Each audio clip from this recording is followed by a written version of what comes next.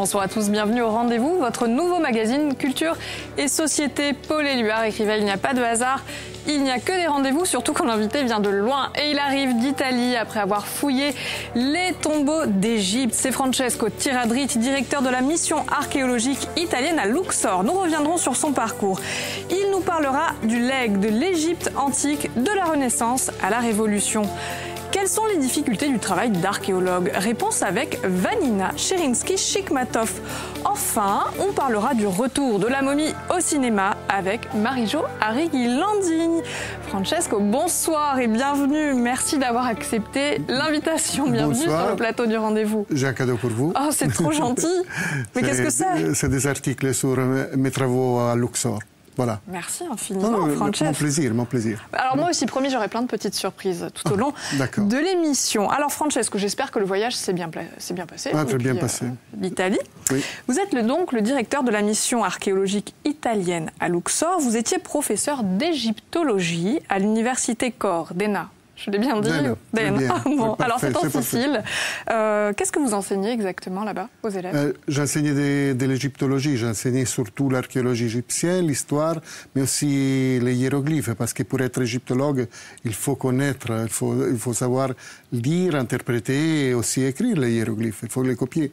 C'est la traduction dans, dans, le cadeau euh, non, non, là, il n'y a pas de hiéroglyphes, c'est grand public, ça. C'est pas pour les égyptologues. Cher Francesco, avant ça, il y a eu les années fac. Euh, vous faites vos études à la Sapienza de Rome, puis à la Sorbonne à Paris. Pourquoi avoir choisi l'Égypte euh, et pas un autre sujet d'études, comme la Renaissance italienne au hasard oui, oui. Ça, ça remonte à mon enfance. Et c'est aussi ma mère. C'est la faute de ma mère, parce que la mienne, c'est pas une passion, c'est une frustration. Je dois. Ma, oui, ma, mère était maîtresse à l'école. Elle est venue un jour euh, m'enseigner parce que ma, véritable maîtresse était absente. Elle m'a enseigné les égyptiennes. Le lendemain, m'a interrogé devant toute la classe. Moi, j'avais pas étudié parce que oh! j'étais le fils de, le fils de la maîtresse et il m'a menacé devant tout le monde. Je ne pas sûr, les Égyptiens m'ont menacé devant tout le monde de me momifier. Ah oui, carrément. Alors ça, c'était la première gaffe de ma vie. Je me la rappelle maintenant. Ça fait 50 ans. Mais je crois que dès lors, toute ma vie, ça a été, ça a été visé à démontrer à ma mère que j'ai après les Égyptiens. Je les ai appris. Ça y est, la leçon, vous la connaissez sur ah le bout des doigts. Alors, Francesque, vous enseignez en Slovénie, aux États-Unis, puis vous allez revenir en Italie. Alors, Napoléon disait l'histoire est une suite de mensonges sur laquelle on est d'accord. Est-ce que vous en ah. convenez? Ah, il, est, il est grand, ça aussi, là aussi, hein, Napoléon, non, il, a, il, a, tout à fait raison, parce que on peut pas, c'est comme des souvenirs, l'histoire c'est des souvenirs de l'humanité, comme les souvenirs nous échappent, et sinon un d'eux cette émission, dans deux ans, on ne se rappellera pas ce qu'on a dit, il, faut, il, faudra la revoir. L'histoire, c'est la même chose. C'est pareil. Oh, oui, c'est des mensonges et mm, la personne qui arrive à les raconter mieux, il a raison. D'accord, donc il faut beaucoup d'imagination finalement lorsqu'on est archéologue. Parce que l'histoire avec un grand H, c'est quand même un peu romancé. Vous n'êtes pas des menteurs quand même. Non, non, non. Ah bon on, essaie de ne pas mentir, euh, au moins consciemment. On ne sait pas de, mentir consciemment, mais forcément, on arrive, on, on, on, arrange un petit peu parce qu'il nous manque pas mal de données. Hein. Il nous manque, on parle des dates qui, qui changent de 50 ans euh, selon des articles. C'est un peu flou. Surtout l'Égypte ancienne, même si on croit d'avoir plein, plein, plein de, données, il y a des théories qui, qui, qui, nous poussent toujours plus près. On n'arrivera jamais à savoir qu'est-ce qu'ils faisaient, qu'est-ce qu'ils bricolaient les Égyptiens anciens. Ça, ça, ça c'est sûr. Mais il y a des choses vraisemblables. Petite, euh, petite marge acceptée au niveau des erreurs. Quoique, euh, est-ce que vous avez déjà contredit les interprétations d'un confrère ou est-ce que vous-même, vous avez déjà été contredit, Francesco Ça, c'est toute une histoire. Euh, disons que ça fait trois, euh, ans, j'ai écrit un article euh, où j'ai déclaré que les oies de Médoum, c'est une des peintures les plus célèbres de l'ancienne Égypte. Était un faux. C'est très beau, c'est très beau. Moi, moi je l'adorais. Hein, je, je l'adorais. Un, un, jour, je me suis rendu compte que les oies de Médoum pouvaient être un faux. Ça, c'était un choc.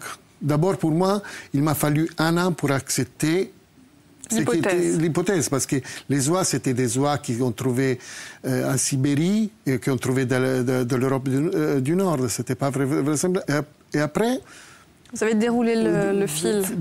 J'ai trouvé plein, plein. Ça fait fâcher tout le monde. tout le monde de l'égyptologie, les Égyptiennes. Il y a eu des articles sur, contre moi sur la presse pendant deux mois et demi, trois mois comme ça. C'était, disons, pas un bon moment. Mais alors, qui a eu le fin mot de l'histoire, si je puis dire euh, qui avait raison On ne sait pas. On ne sait pas. Pour l'instant, tout est laissé comme ça. les Égyptiens ont menacé de faire des analyses. Ah, quand même. Mais ils n'ont jamais donné des résultats. Très bien. Ça fait penser quelque chose.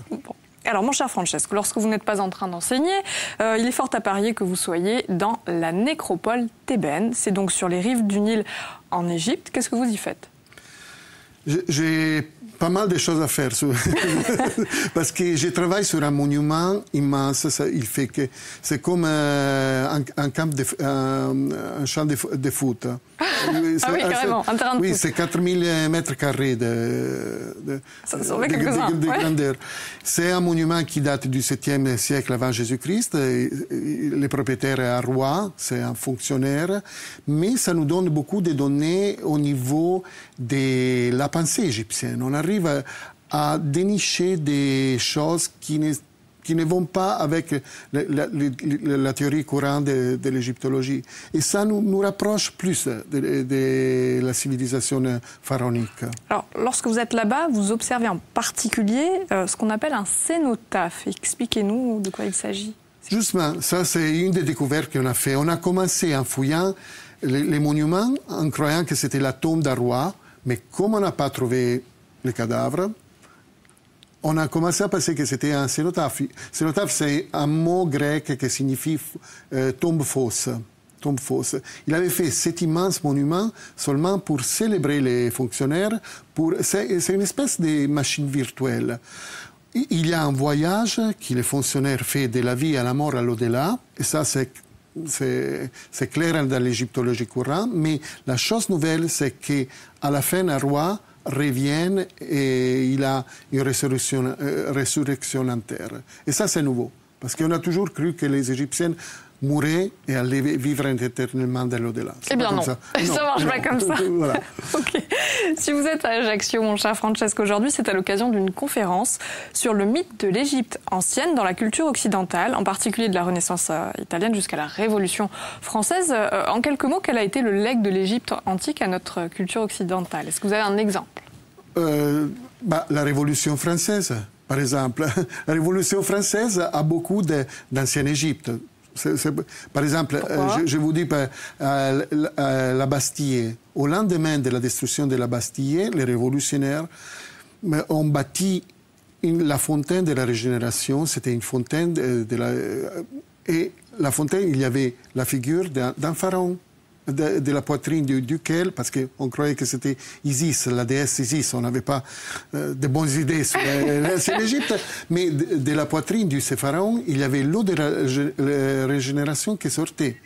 Et ça, c'est un, véritable symbole, c'est l'ancien Égypte. On, on s'appuie sur l'ancien Égypte au lendemain de la Révolution française. Francesco. Une chose est sûre, c'est que l'Égypte continuera de fasciner. Euh, si vous n'êtes pas en conférence ou sur le terrain, vous êtes à Ajaccio et vous êtes venu pour observer un bouquin. Alors pas celui-ci très particulier. Euh, je vous invite à me suivre. On va en parler avec notre débattrice. C'est parti.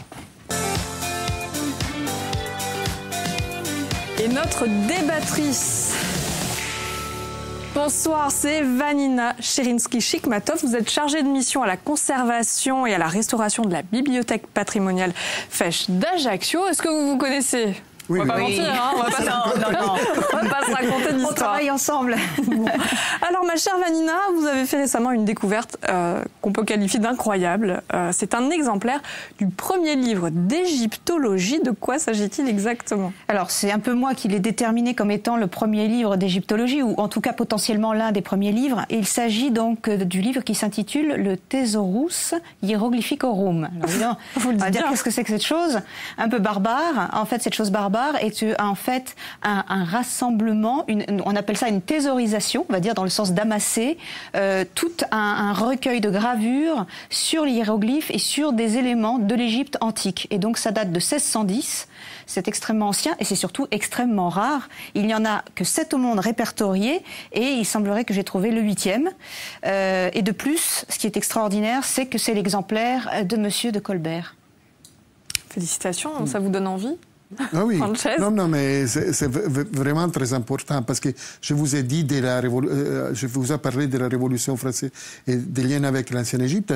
Ces livres, ça nous permet de, de remettre en place beaucoup d'histoires du mythe de l'ancienne Égypte, comme il était conçu à, à partir de la fin du Moyen, Moyen Âge. Parce que à la fin du Moyen Âge, les savants, les artistes ont commencé à prendre l'ancienne Égypte comme un symbole de liberté c'était une civilisation très ancienne qui dépassait le christianisme. Il arrivait à déclarer leur liberté sur l'État et sur l'Église. Après, on passe, ça, c'est très compliqué, mais on va y arriver avec euh, une conférence d'une heure et demie. Qui vous... mais on arrive après à la franc-maçonnerie et à la Révolution française. C'est toujours utilisé comme un symbole de liberté. Est-ce que Vanina vous a laissé euh, observer cet exemplaire? Et, il me l'a montré. Et on est en train de, l'étudier parce qu'il y a plein de choses. Il y a même des, petits mystères à, à dévoiler. Oui, oui. Oui, c'est un livre plein de symboles, plein de mystères. D'ailleurs, depuis le début, euh, ce livre euh, est un mystère en soi parce que je l'ai trouvé dans des conditions déjà improbables. C'est-à-dire euh, bah, Il était déjà plié en deux, voire en rouleau, comme pour taper les mouches, ah, calé entre le bottin corse ou corse et puis un, un roman de gare. Donc vraiment, mais, mais en fait, il y a eu comme une révélation. Je l'ai pris entre les mains, puis j'ai vraiment eu un, coup au cœur. Comme on a un, coup de, un coup de foudre, je me suis dit ça, c'est pas commun du tout. Euh, et, à chaque fois que ce livre, je, l'ai remis à nouveau en disant je m'en occupe, etc., eh bien c'est tout des coïncidences. Francesco, au départ, on ne se connaissait pas. C'est par le biais du restaurateur, M. Euh, Monsieur Simone Martini, qui en plus adorablement accepte de le restaurer gratuitement pour faire un cadeau à la ville d'Ajaccio, parce qu'il est vraiment pareil, il trouve qu'on est bien reçu en Corse, comme quoi on, s'est bien traité, euh, voilà, nos hôtes, et c'est très agréable. Eh bien, il s'est avéré que euh, il connaissait Francesco. Donc c'est comme ça qu'on a fait la connexion. Et moi, j'avais besoin de quelqu'un qui me dise, oui, vous ne vous êtes pas trompé, c'est bien le huitième, oui, c'est rare, euh, parce que moi j'étais collé au plafond, quoi. J'étais, je disais, c'est formidable si c'est vrai, mais j'avais un doute énorme. Donc grâce à Francesco. Oui, c'est la chance, parce que Simone, Simone, les restaurateurs et moi, on du même village, Montepulciano en Toscane. Et il a dit à, Vanina, mais moi je connais un égyptologue, et moi je suis aussi sauté dessus parce que je ne connaissais pas ces, ces livres. Vraiment, il était sorti de, de, la bibliographie égyptologique. L'étude va donner beaucoup de choses et surtout il va, il, il va amener plein, plein d'intérêt sur Ajaccio. Il, il replace Ajaccio euh, au centre de quelque chose, parce que. Bon, Napoléon, c'est celui qui a fait l'expédition d'Égypte, et c'est très intéressant pour Ajaccio exploiter ces créneaux, les liens entre Napoléon et... Francesco Vanni, des, tombeaux d'Égypte euh, jusqu'à la bibliothèque Fèche, les difficultés auxquelles les chercheurs et les archéologues euh, sont confrontés aujourd'hui, comment vous les qualifieriez? Sont lesquels manque de moyens Oui, alors il y a un manque de considération, il y a un manque de prise de conscience de la valeur des choses que nous pouvons trouver, ou même simplement, euh, je dis souvent que par exemple pour le livre que j'ai trouvé, ce livre a un destin qui lui est propre. Nous, nous ne sommes que de passage dans sa vie. Euh, ce livre appartenu à Colbert, il est passé par Saint-Germain-des-Prés, à l'abbaye de Saint-Germain-des-Prés, il a subi la Révolution. Sans doute, peut-être, mon hypothèse, c'est que Lucien Bonaparte l'aurait pris euh, lors des confiscations, puis passé au cardinal Fesch. Donc vous imaginez, j'aimerais, moi, en tout cas modestement, je ne serais qu'un fantôme dans la vie de, de ce livre. J'aimerais que les gens prennent conscience que ce livre, c'est une rareté véritable, surtout que ce sont des choses périssables. Et puis, euh, alors là, je vais faire un peu de chauvinisme insulaire. Euh, allez, youpi, pour une fois, on, a, on fait quand même partie de ce club très fermé mondial des détenteurs de ce livre. Il faut savoir que la BNF en a un, Euh, a priori, le musée de l'homme en avait un. Je dis a priori parce que sensiblement, pour le moment, ils ne le retrouvent pas. Ils ne remettent pas la main sur leur original. Euh, et nous, nous en avons un. Euh, le prochain que j'ai réussi à, reconnecter, il est en Poméranie. vous imaginez, perdu au fond d'une brousse entre la Pologne et l'Allemagne. voilà. Et nous, la Corse, on a ça. J'aimerais tellement que. Et c'est ça qu'on a. On a un manque absolu par rapport au patrimoine, surtout ce genre de patrimoine-là, un manque de considération et de, de, valeur, de, pensée de valeur par rapport à ça préserver ces trésors de l'histoire, ce serait ça le rôle de l'archéologue au XXIe siècle? mais, Oui, oui, mais euh, euh, c'est aussi euh, une façon pour Ajaccio de, de, de, jouer une très belle carte niveau culturel, parce qu'on dit toujours que la culture n'amène pas de l'argent, les politiciens ne donnent jamais de l'argent dans la culture, mais la culture, ça fait grandir les, enfants, les jeunes, et ça, c'est la véritable ressource du domaine. C'est de l'argent. Miser sur la culture, c'est de l'argent. Fanina, Francesque, euh, à suivre, je vous propose une autre découverte. Alors, ce sera celle de l'artiste Sabrina Saraïs. C'est un portrait qui est signé Serge Bonavit, c'est l'ITV du RDV.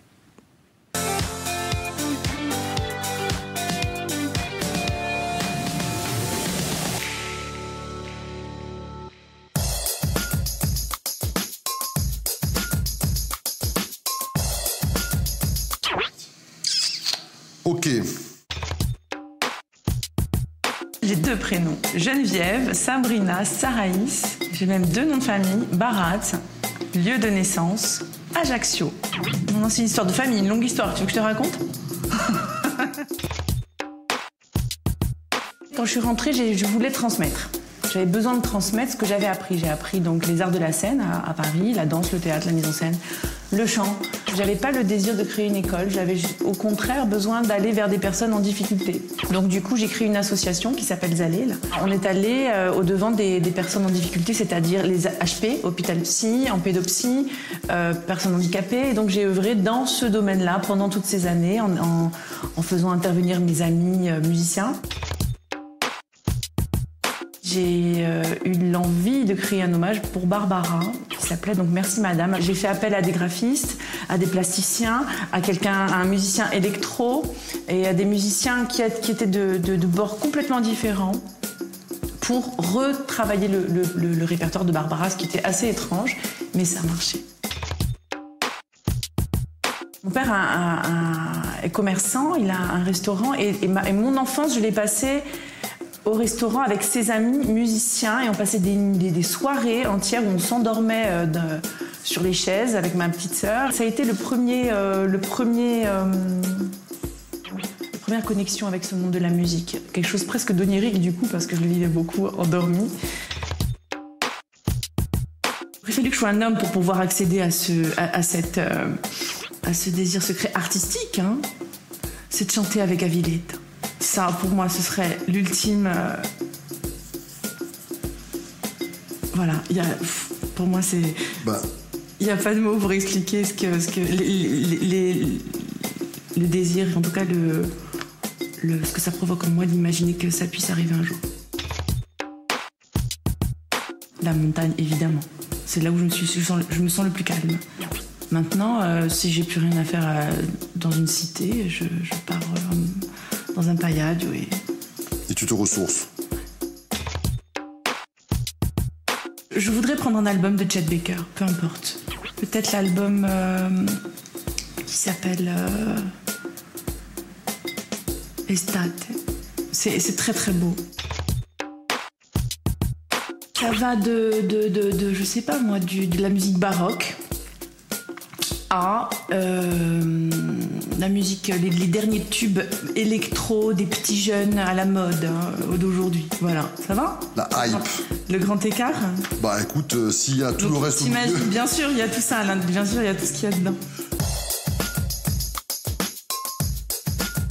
Bon bah super un petit côté Nefertiti, notre jolie Sabrina Saraï. C'est une artiste d'ailleurs que je vous invite à découvrir sur scène pour son spectacle Merci Madame. Plus d'infos sur notre site viastel.fr. elle fait peur, elle nous fascine. C'est le retour de la momie au cinéma et c'est Marie-Joëlle Guilandini, bonsoir, qui nous a rejoint, qui va s'y coller. Alors vous allez nous faire frissonner ce soir. Mais je ne sais pas comment je dois le prendre. c'est bien, c'est bien, je, suis le retour de la momie. je ne me permettrai pas, vous êtes Nous allons parler momie, je ne savais pas que vous aviez risqué d'être momifié par votre mère, ça m'a vraiment terrorisé. en tout cas, c'est un personnage qui est vraiment un personnage récurrent de la littérature depuis le roman de la momie de Théophile Gautier. Euh, c'est un, roman qui avait été publié en feuilleton, en fait, en 1857 dans Le Moniteur universel. Alors là, il s'agissait de l'histoire de la charmante et euh, magnifique euh, Tauser, qui était une belle momie, une belle jeune femme dont on essayait de trouver, de raconter l'histoire. Mais très vite, très rapidement, c'est le côté terrifiant qui a détrôné justement ce côté charmant de la momie.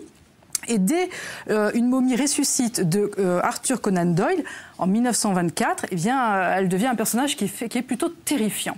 Alors, 1924, elle est terrifiante. On se dit que peut-être c'est lié quand même à Toutankhamon.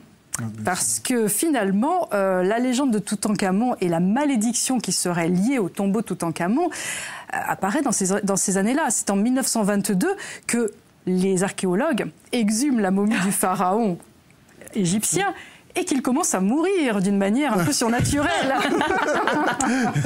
Est-ce que c'est ça qui d'un seul coup a fait de la momie un personnage tout à fait effrayant? Je ne sais pas, mais en tout cas, à partir de là, elle est beaucoup moins charmante et le cinéma s'en empare dès 1930 avec euh, Momie. Une très, on a une très jolie affiche de Momie. Puis après, vous allez voir, les titres sont pas très originaux. Enfin, on voit bien qu'on mise tout sur la momie.